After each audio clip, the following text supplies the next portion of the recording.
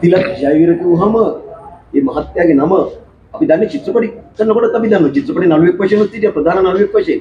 ඒ වගේ මේක නෙමෙයි අද ක්‍රීඩා අමාත්‍යාංශයේ මේ weight lifting ගැන. ඒ කියන්නේ මේ බර විසීම ගැන පාඨමාලාවක් කරලා සාධික පත්‍ර බෙදා දුන්නා. අපි මේ තිලක් ජයවිර මහත්මයාගෙන් අහන්නේ ඔබතුමා අවුරුදු 3ක් නොකඩවා ආවා ආයවර්ධන ශූරය වශයෙන්. මොකක්ද ඒ රහස?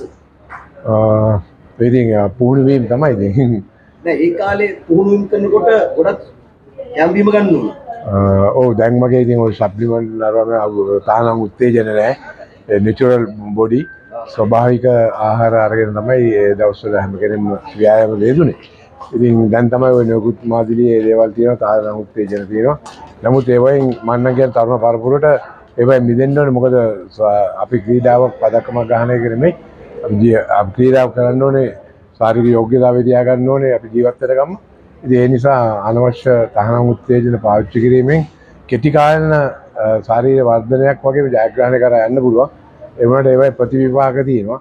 ගොඩක් අයට ලොකු බලපෑම් ඇති වෙලා තියෙනවා ඒ තහනම් උත්තේජන ගැනීමෙන්. ලෝක රටවල් වල එහෙම තහනම් උත්තේජක ගන්නව නේද ලෝක ෆෙඩරේෂන් කරනකොට ඒ වච්චර බලපාන්නේ නැහැ නේද? ඒ සමහර රටවල් වල එහෙම තියෙනවා. නමුත් අපේ IFBB කියන්නේ ශ්‍රී ලංකා ලෝක බොඩි බිල්ඩින් සම්මේලනේ. ඒකට අනුබද්ධ එක තමයි ශ්‍රී ලංකා ආයෝජන සම්මේලනේ. ක්‍රීඩා අමාත්‍යාංශයට අනුබද්ධයි. ඉතින් අපේ ක්‍රීඩකයන්ව සමහර ක්‍රීඩා අමාත්‍යාංශයේ අපේ වෛද්‍යවරු ඉන්නවා.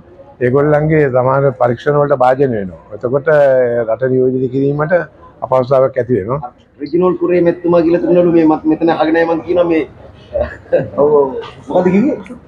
මේ වීහරකෙක් වගේ ගහදන්න පුළුවන් කිව්වලු.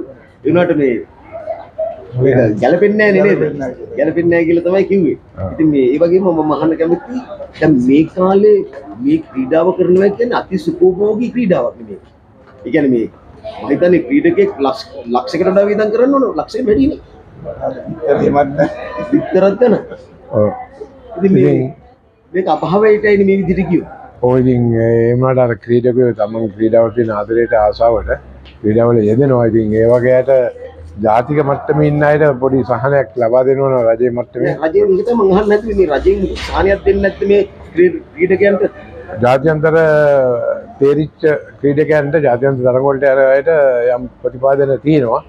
ඒ වගේම ඉදිරියට කාව සම්මේලනයත් එකතු වෙලා අපේ ක්‍රීඩකයන්ට සමහර විට ඔය ජයග්‍රහණ කරන ක්‍රීඩකයන්ට මුදලින් ආධාරයම ලැබෙනවා. ඔබතුමාට ඒ කාලේ ලැබුණා.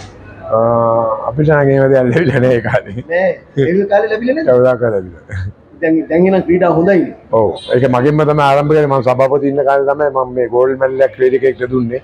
ඒ වගේ විනිශ්චය කරුවන්ට ගෙවීමක් කරන්න පටන් ගත්තේ මගේ මං සභාපති ඉන්න කාලේ. හොඳ වැඩ කොටසක් කළා තියෙනවා. ඔව් හොඳ වැඩ කොටසක් කරා. ඒ වගේම අධ්‍යාපන ශාස්ත්‍රයේ කායවර්ධන ශාස්ත්‍රයේ ශාරීරික යෝග්‍යතා වෙනත් ක්‍රීඩා වලට මගෙන්ම ව්‍යාපෘති නම් 84 වර්තමාන ජනාධිපති රාජේන්ද්‍ර කුරුසන මහත්මයා අධ්‍යාපනය ඇමති ඉන්න කාලේ පටන් ගත්තේ. ගොඩක් කියන්නේ මේ කීයද? 2000 1984 84 ඔව්. 84 තමයි අධ්‍යාපන ශ්‍රේෂ්ඨයට මේ විෂය පිළිබඳ. මං සතුරු වෙන අපි ගුරු මහත් මහත්මයන් දෙදහක් පමණ පුහුණු ලැබුවා මේ කායවර්ධන සහ වෙනත් ශක්ති වර්ධන ව්‍යායාම වෙනත් ක්‍රීඩා වලට කොහොම උපයෝග කරගන්න කියලා. ඒ වගේම අපි 1984 දින පාෂල් ආයම ශිෂ්‍ය තේරීම තරඟයේ තිබ්බා. මේ තහනම් උත්තේජන ප්‍රශ්නින්ද පෞගේ කාලේ එම තරඟ වලින් පාෂල් වලින් ඒවා නැවත අයින් කරලා තිබුණා.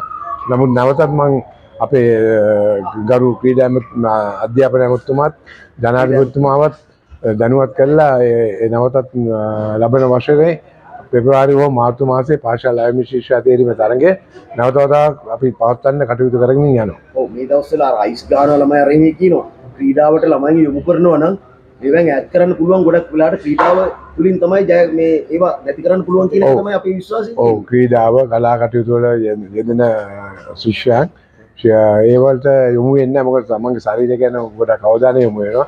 ඒ නිසා පුළුවන් තරම් ක්‍රීඩාවට යොමු කරනවා නම් තමයි මම හිතන්නේ ගොඩක් හොඳ. මම වයස අහන්නේ. මොකද 83 84 85 කිව්වනේ මේ සූරතාවේ ගත්තේ. ඔව්. ඉතින් වයස අපිට හිතාගත්ත හැකි. ඔව්. ඒ නිසා වයස අහන්න ඕනේ නැහැ. ජව සම්පන්න තේජාන්විත පෙනුමක් තියෙන තිලක් ජයරත්නතුමාට තවත් නිරෝගී සම්පන්න දීර්ඝායුෂ ලැබේවා කියලා අපි ප්‍රාර්ථනා කරනවා. ජයවා